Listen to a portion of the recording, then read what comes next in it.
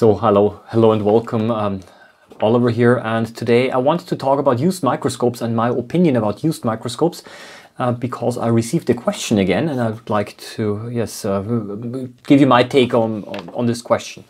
I frequent antique shops, flea markets, garage sales and occasionally see old microscopes for sale. I actually bought a 1970s era American Optical 110 Microstar that I'm now using. Do you have any general recommendation or general comments uh, regarding buying old used microscopes? I'm seeing old Wetzlar, Bausch and Lomb, etc. And I'm always wondering if they might be good choices depending on the price and condition. I know you can't comment about any particular microscopes because you haven't seen or tried them, but say you saw an old, and you can now insert your brand name, microscope at a flea market and it was inexpensive, what would you be thinking about regarding actually buying it? Many thanks. Thank you for the question. Interesting question and also a very um, common question. And as always, I'm probably not going to give you a very simple yes, no answer, but a more balanced one. And uh, I want to simply now start off uh, by telling you one of the things that I've uh, read, especially in German microscopy forums. Um, and uh, there are some people in the German microscopy forums. There seem to be two different two different views on the issue, and the one common view is is that um, uh, people recommend, or some microscopists recommend, buy yourself not a new microscope, but buy yourself a refurbished used microscope. Okay, because they say for the same price you get more value. That is basically the argument. Okay. Um, and the second uh, view is, is the following. Uh, and the second, don't buy yourself a used microscope, especially if you're a beginner, because you don't know what you're buying. Um, and if you're just uh, out for observing, um, and then simply go ahead, buy yourself a new microscope, microscope that you're happy with, and uh, you'll be fine. And then you can almost have a guarantee that the microscope will work fine and that, you're going to enjoy microscopy. So you see there are two different views on, on this issue. Um, I think it's a question of taste, okay? Um, I uh, now, however, have a different, uh, yet a different uh, view on the issue.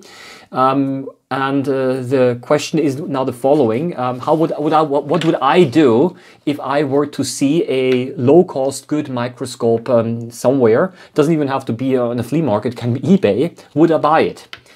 And I would probably say I would probably be inclined to buy it if it were a microscope, if it were an Olympus microscope, because then it would fit into my existing system. However, it is like this, I might not buy it because I don't have the space. okay, so it's a, a, a, pro and con, of course. Um, it is like this, uh, that um, I think it is not only a question of cost, and I think it is not only a question of the type of microscope or whether it's good quality or whether it works or it does not work. I think it is more a question on how you define your hobby of microscopy, and I need to explain this. If I am if I am if I were be if I would be into uh, collecting old microscopes and repairing them and refurbishing them, then of course um, I'm also going to buy very uh, yeah used microscopes that might not work very well. Okay, so even the condition maybe does not have to be very good because maybe it does have this one objective that I really want to have. Okay, and that's why I'm going to buy the whole microscope. And, but that is a different uh, um, approach than if I were to define uh, microscopy as a hobby, as a, let's say an observation hobby, where I say I actually, for me, the microscope itself, itself is more of a tool to observe the environment. And I'm not so much interested in the microscope itself. I'm not so much interested in collecting it, refurbishing it, um, I don't know, uh, upgrading it and so on. So it depends quite a bit um, on um, the way that you define microscopy as a hobby. I personally, if I saw a, a, a low cost uh, um, Olympus CH2 or CHA microscope, and if it were low cost, then I'd probably be more inclined to buy it because then I have more spare parts. Um, it would fit into my existing systems that I have and so on. Um, if I were to find another uh, low cost microscope uh, of a different brand, I'd be thinking, hmm, I don't know if I uh, actually have the space to actually store it. Okay. Um, so um, you see, it is not for me not only a question really of, of uh, whether the microscope is of good quality or bad quality, or whether it works or does not work, uh, but there are also other criteria that kind of play a little bit um, a role here. Okay. Um, generally, um, I think the, I, I, guess the question is more general: is is uh, do I consider used microscopes generally an option? And I'm saying, of course, why not? Um, but it depends again a little bit of what your interests are. I mean, I'll give you an example here. This is a microscope here. That's uh, the, this one here I bought new, the CH40. Okay, this the, the big one here. But the CHA microscope um, is used. It has been in operation for 30 years um, inside uh, in the school where I work. Okay, and after 30 or over 30 years of operation, it was like this. That uh, it was essentially they had to be um, yeah exchanged because um, all the focus knobs, all of the mechanics, the focus knobs, and also the the X uh, and the Y the mechanical stage, uh, they uh, did not uh, turn anymore because the, the lubrication oil started to solidify, okay? That's a normal thing. It's got to be cleaned then, it's got to be delubricated. So you have to use a solvent, you got to take everything apart, you got to use a solvent to remove the old oil, you have to re-lubricate everything and then you, it works again. So these microscopes were essentially they were useless, okay, for because uh, they could not be operated at all. Were not. It was not only difficult to turn; it was impossible to turn. Um, so essentially they had to be thrown out. Uh, and uh, I got them, uh, one of them free of charge because essentially it was uh, not used anymore. So I got it and then basically what am I going to do with that? And I said, okay, I'm going to decide now I'm going to um, use the microscope and I'm going to redefine my hobby a little bit. And I'm going to teach myself now how to repair microscopes. So that was kind of the intention a little bit. And I started uh, carefully taking it apart. I even found online a manual on how to take a service manual. I even have service manuals on how to service them. Okay, so these microscopes are meant meant to be taken apart and serviced. Okay, uh, so these are not throwaway uh, consumer device end uh, consumer devices, but actually were meant to be in operation for a very long time.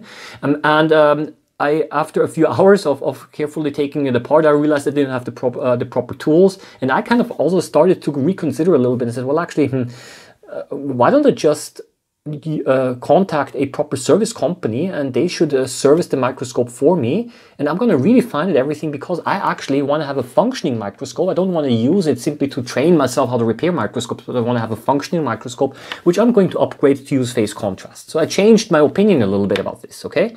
Um, so I ended up ultimately paying just 200 euros, it's, I don't know, 220, 230 US dollars, simply for getting it re-lubricated and cleaned for that money you get you get a new microscope okay? And I paid another around 250 300 euros uh, for a phase contrast set okay? Which I bought second hand so um, essentially for me uh, it was worth investing that much money because essentially now I have a microscope that is like new and has all of the features that I want Okay, um, so I kind of so for me, um, getting this microscope was well worth it. Okay, for somebody else, it might not be well worth it. Okay, um, so it depends a lot on how you define your interests in the field of microscopy, and this depends also um, on whether you are willing to spend uh, money on um, a used microscope, which ultimately might not be so much cheaper at the end. Okay.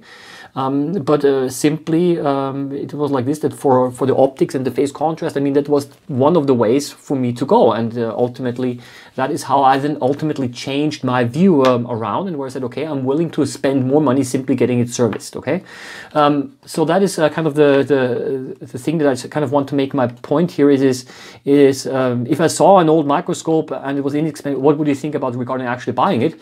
Um, would I buy it? I would probably have to restrain myself myself and uh, say, well, maybe I have to urge to buy it. But I myself defined microscopy as a hobby, not so much as, uh, as collecting it. I already have five microscopes that work, okay? Do I really need a sixth one, okay? Um, and for me, I have defined the hobby more right now um, of actually observing nature and making YouTube films, okay, and videos. Um, and that is basically my approach. Um, and other people might have a different approach. It's a little bit like, I don't know, I was also some years ago into uh, flying radio-controlled model airplanes. Some people like the flying part more and some people like the building part more. It's usually always a combination of both, uh, but it's a question really where is the emphasis, okay? And some people like more the building part and then trying it out that if it works and they fly it a little bit, or other people simply buy a complete model airplane, which is already yeah, everything finished right out of the box. Um, and maybe it's in microscopy the same thing. I mean, there are some people who like to collect slides, microscopy slides, old slides. Some people like to collect microscopes themselves. Um, other people like uh, like to um, who they don't care so much about the microscope. They care more about the observing part and taking pictures. Um, other people like to con contribute a lot in in um, in web forms, exchanging pictures. So photography is important. Art maybe uh, uh, photo photo micrographic art. I rather have to say.